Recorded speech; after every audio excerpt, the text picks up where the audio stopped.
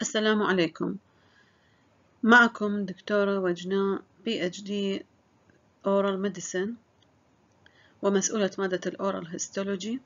أرحب بطلبة المرحلة الثانية في العام الدراسي الجديد 2021-2022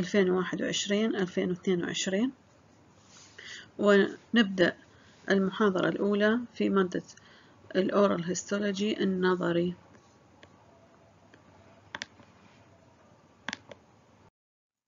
بداية نبدأها بتعريف ال oral histology اللي هو علم أنسجة الفم. Is the study of the minute structure, composition and function of oral tissues. يعني دراسة للأجزاء الدقيقة مع التركيب والوظيفة لأنسجة الفم. تعريف مبسط.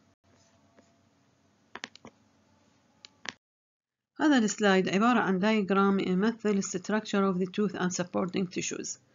نوع ال section بهذا ال diagram هو longitudinal section. مثل ما نلاحظ ال diagram هو label diagram يعني تأشيرات موجودة على كل جزء. أهم التأشيرات اللي تأكدون عليها هي الفرق ما بين الكلينيكال والاناتوميكال كراون والكلينيكال والاناتوميكال روت معلومات أساسية عن نوع الأنسجة الموجودة في ال oral cavity واللي تضم نوعين أساسية ال hard tissues متمثلة بال bone and teeth وال soft tissues متمثلة بال lining mucosa and salivary glands. ال tooth in general يتكون من two parts اللي هو ال crown وال root ال crown هو الجزء المرئي من السن داخل ال oral cavity وال root هو ال hidden portion of the tooth in the alveolar bone. A tooth suspended in the alveolar bone by periodontal ligament. ال periodontium هو مصطلح يطلق على الأنسجة الساندة لل tooth ويشمل أربع أنواع مختلفة من الأنسجة ال periodontal ligament واحدة منها وكذلك تضم هذه البريودونشيوم السمنتم والجنجايفا والألفيولار بون مركز السن هو يدعى البلب. وما بين البلب والإنامل في الكراون هذا الحيز يشغل بالدنتين. وما بين البلب والسمنتم بالروت هذا الحيز يشغل بال dentin أيضا. فإذا ال dentin يشكل ال bulk of the tooth structure. هذه ال layers المختلفة لل tooth مؤشرة بشكل واضح في ال slide اللاحق.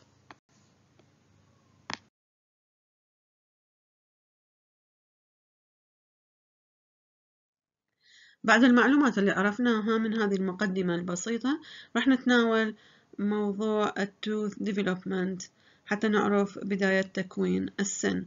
أيضا هذا يعرف بهاي العملية تعرف بال odontogenesis راح ناخذ جزء منها بهذه المحاضرة والجزء الآخر بالمحاضرة اللاحقة. هذه صورة ل fetus during intrauterine life. عمره أربع أسابيع أو ثمانية وعشرين يوم. هذا العمر تبدأ به عملية تكوين الأسنان. Stomodium is primitive oral cavity. primitive يعني بدائي أو أولي. هذا الاستموديوم هو ما يطلق على الأورال كافيتي للجنين lined by stratified squamous epithelia يفصل عن ال endoderm of the gut ال buccopharyngeal membrane اللي يصير به rupture بالأسبوع الرابع يعني باليوم السابع والعشرين أو الثامن والعشرين من intrauterine life. وهذا ما يحفز ال induction أو هذا ال slide يمثل مقطع نسيجي بال stomodeum ونلاحظ به ال oral ectoderm وتحت ال ectomesenchymal tissue يفصل بينهم ال basement membrane من يصير rupture بال buccopharyngeal membrane راح يصير activation بال neural crest cell الموجودة بال ectomesenchymal tissue وتفرز signals تأثر على ال أو activate the basal cells الموجودة بال oral ectoderm فيصير بها proliferation حتى تكون هذا التثخن اللي تشوفوه أمامكم بالصورة. وهذا التثخن اللي هو يسموه primary epithelial band. هي band of epithelium invaded the underlying ectomesenchyme of the future dental arches. يعني إنه النمو مالتها راح يكون إلى داخل الاكتوميسنكايم وليس outward. من حكينا على formation أو proliferation أو primary epithelial band. ما راح يكون بنقطة واحدة وإنما راح يكون على طول ال arch ال primitive maxilla and mandible. فراح ياخذ شكل ال arch هذا التثخن ياخذ شكل ال arch اللي هو ال U shape ونطلق عليه dental lamina اللي هو آه، بال design هذا شكل البني الفاتح. ال dental lamina راح يكون آه، آه، other foci of proliferation of basal cell. آه، هذه ال area اللي يصير بها proliferation هي في عشر مناطق من ال upper jaw and lower آه، واللي تمثل كل واحدة منهم مكان السن اللبني أو deciduous tooth اللي مستقبلا راح يتكون. هذا أيضا مقطع نسيجي through stomodeum in coronal direction. قلنا بال slide اللي قبله ال primary epithelial band تتكون في الأسبوع السادس. في الأسبوع السابع ال primary epithelial band divided into inner lingual process called dental lamina واللي هي مسؤولة عن تكوين الأسنان مستقبلا. ال outer buccal process called vestibular lamina واللي هي تكون labial and buccal vestibule of oral cavity هذا أيضا coronal histological section through primary epithelial band يبين بالdental lamina اللي هي على اليسار vestibular lamina على اليمين أيضا تدعى vestibular lamina تدعى lip band وتتكون بالboth arches upper and lower وقلنا uh, outer to the dental lamina what the independently and later to formation of dental lamina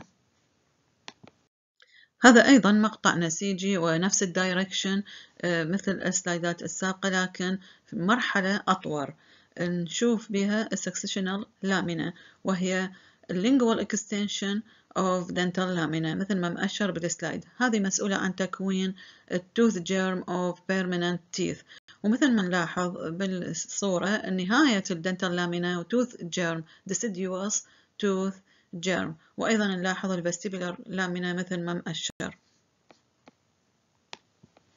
هذا أيضا رسم توضيحي لل dental lamina على طول على طول ال dental arch واللي يبين ال foci of proliferation اللي قلنا عليها بالبداية إنه عشر مناطق حتى تكون ال deciduous teeth كل واحدة منها حاملة لل tooth germ deciduous tooth germ وإلها successional lamina حتى تكون ال permanent successor. لكن تبقى عندنا الأسنان الدائمية ال molars ما إلها predecessor. إحنا قلنا عشر مناطق راح تبقى بعد عندنا ال molars. تتكون من وين؟ تتكون من ال distal extension of dental lamina. Fate of dental lamina يعني مصير ال dental lamina هي ال dental lamina تبقى active آه، حوالي خمس سنوات ومن ثم بعد ما يتكون ال dentin وال enamel يعني من يبدي ال hard tissue deposition يبدي بها ال degeneration ال degeneration آه، من خلال ال proliferation of ectomesenchymal tissue. يعني النسيج المحيط بها يصير بي proliferation ويسوي invasion لها آه، بالتدريج إلى أن ما يفصلها عن ال tooth germ وهذا يكون بال late stage of tooth development. بقايا ال dental lamina من ال epithelial cell راح تبقى بال jaw وتدعى epithelial cell rest of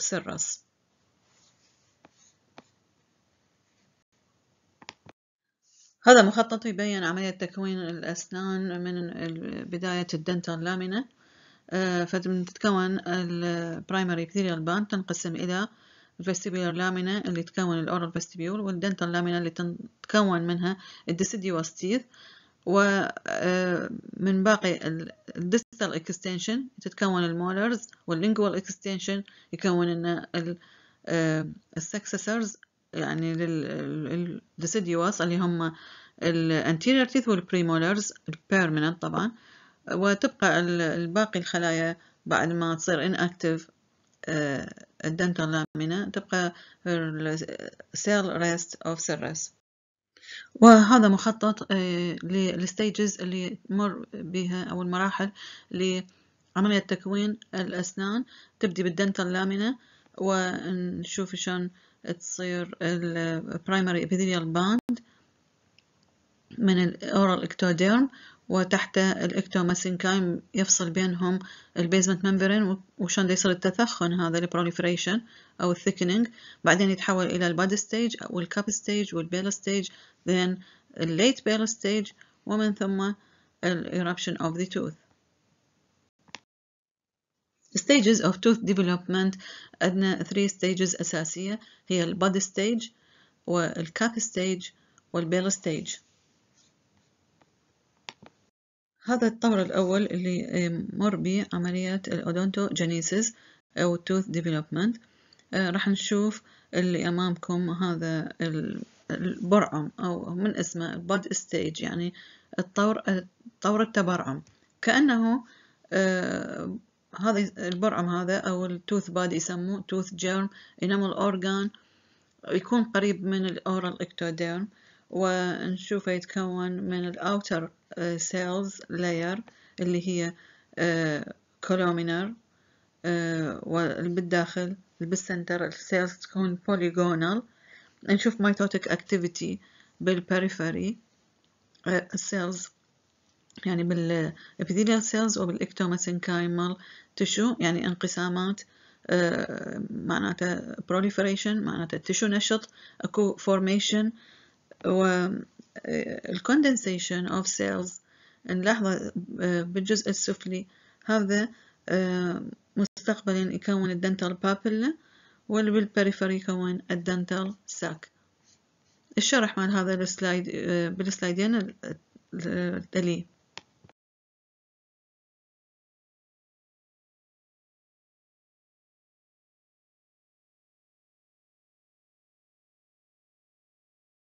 الطور الثاني في ال tooth development هو ال cap stage واللي يتميز ب unequal growth ليش unequal growth لأنه لو كان equal كان ال bud الصغير هذا صار نفس الشكل وبقى بس يصير أكبر بالحجم. لكن هنا عندنا دا يصير unequal growth دا يتغير حتى الشكل ينطينا ينتج عنا ال cap stage اللي هو بشكل ال concavity وال convexity شلون دا يصير هذا؟ دا يصير ال deep surface of the bud يصير بيه shallow invagination إلى داخل ال bud فدا ينطي ال cap shape ال peripheral cell راح تكون cuboidal وتحيط بال convexity الخارجية ال outer convexity وتسمى بال outer enamel epithelia خلايا ال epithelial cell اللي تحيط بال concavity راح تكون tall columnar cell تدعى بال inner enamel epithelia. كذلك نشوف أكو center بال بال concavity يسموها ال enamel knot. هذه يعني خلي نوصفها بأنه هي تكون مركز النمو. وراح نجي عليها بال slide ات القادمة. طبعا أكو هم desmosome يربط epithelial cell to the basal cell layer هذا مقطع نسيجي لل tooth germ during cap stage يبين ال enamel niche. هذا structure لكن هو في الحقيقة artifact. يعني يحدث بسبب أو خلينا نقول أثناء تحضير ال slide من يصير القطع وتبين كأنه ال dental lamina فيها lateral extension بالحقيقة هي لأن الفانل shape of the structure. وأجي أنا أقطعه فتبين كأنه lateral extension. هذا هو artifact. بس إحنا ردت أوضح أنه إذا شفتوا هيجي structure فهو هذا artifact وليس فد يعني فد جزء بالتوث جيرم يبدي ال enamel organ ياخذ شكله بال cap stage وتبدي ال layers تصير واضحة بال cap stage. فنقدر نميز ال outer enamel epithelia هي الطبقة الخارجية وال inner enamel epithelia اللي هي قلنا الطبقة الداخلية اللي تحيط ال concavity وال stellate reticulum اللي هي ما بين ال outer وال inner enamel epithelia. ال dental papilla اللي هي اللون آه، البيجي هذا اللي آه، تحت ال cap. هذه dental papilla ومؤشرة وال dental follicle اللي هو يحيط بال enamel organ and ectomesenchymal tissue. During cap stage نقدر نميز layers of enamel organ وقلنا تتكون من ال outer enamel epithelial تكون uh, cuboidal in shape surrounding the outer convexity وتتكون من ال inner enamel epithelial اللي هي tall columnar uh, uh, تحيط بال inner concavity ما بينهما ال stellate reticulum واللي هي هذا ال slide هو صورة مكبرة عن ال stellate reticulum وتبين الخلايا اللي تكون هذه اللاير عبارة عن polygonal cells has cytoplasmic processes um, contact to each other uh, and give the layer uh, cushion consistency فتجعلها كشوك absorber to any injury during tooth development أيضا خلال الكاب ستيج of tooth development ممكن نميز الدنتال بابيلا واللي هي مأشر عليها بالسلايد باللون الأصفر تمثل ectomesenchyme tissue of enamel organ surrounded by the inner enamel epithelia اللي هي تصطف على concavity of the cup uh, نشوف condensation of cell واللي هو يجي من ال proliferation وال migration of the cell from the adjacent tissue ال dental pulp اللي تمثل ال origin of future dental pulp uh, طبعا مثل ما قلنا uh, active mitotic uh, figures و budding of capillaries دلالة على ال proliferation and uh, growth uh, peripheral cells of this layer والقريبة تكون على ال inner enamel epithelia يبدي يصير لها differentiation إلى ال odontoblast المسؤولة عن تكوين ال dentin. during cap stage أيضا يكون واضح ال dental follicle or dental sac واللي هو عبارة عن marginal condensation in the ectomesenchyme surrounding the enamel organ and dental papilla وكل ما يتقدم بالنمو كل ما يصير more fibrous راح نشوف ال dental papilla وال dental sac اثنيناتهم ectomesenchyme زين شنو الفرق؟ ال dental papilla يكون ال cells ال cellular content أكثر من ال fibrous content ال dental sac تكون ال fibrous content أكثر من ال cellular content كل واحد حسب وظيفته. ال dental sac مستقبلا ينشأ منه ال periodontal ligament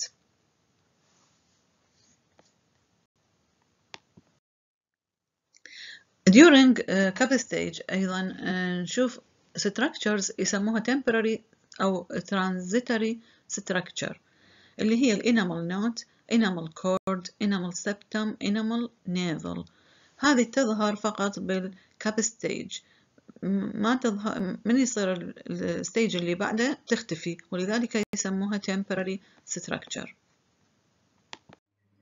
هذه بعض التعاريف للمصطلحات اللي ذكرت بال slide السابق. فال enamel knot مثل ما قلنا هي عبارة عن center للخلايا وال enamel cord وال extension من ال enamel knot. ال enamel septum من يصل ال enamel cord يلتقي بال outer enamel epithelia ويصير متواصل راح يفصل ال stellate reticulum إلى two parts فنقول عليه septum وليس cord وال enamel navel هي منطقة الالتقاء ما بين ال outer enamel epithelia وال enamel cord هذا ال slide يشوفنا كل ال layers and structures اللي نقدر نميزها ونشوفها in kappa stage uh, of tooth development من inner and outer enamel epithelia cervical lobe اللي يربط بين الانر والاوتر enamel epithelia و stellate reticulum و temporary structure